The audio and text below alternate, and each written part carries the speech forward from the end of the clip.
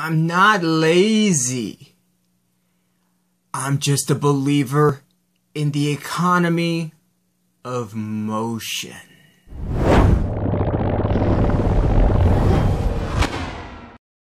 Okay, I could be like the rest of the world and actually tell you my favorite motivational quote, but I'm going to give you something better.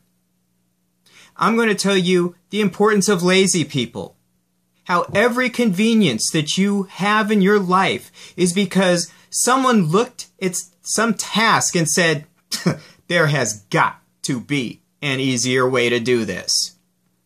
At some point, someone was walking through some field and saw a horse and said, why shouldn't he be doing the walking?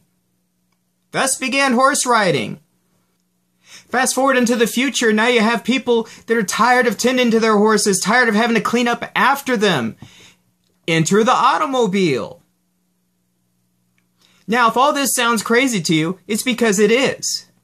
But see, that's the thing. If you're going to try and create something that's important, if you're going to do the important work, if you're going to do the things that really mean something to you and try and have an impact on the world, you have to understand that you have to be comfortable with people thinking you're crazy, with people thinking that what you say means nothing. It's utter nonsense. You have to believe when no one else does.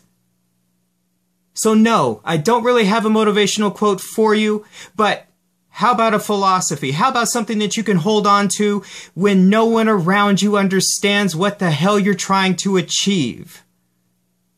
If you can get on board with this, let me know in the comments below. And if not, that's okay.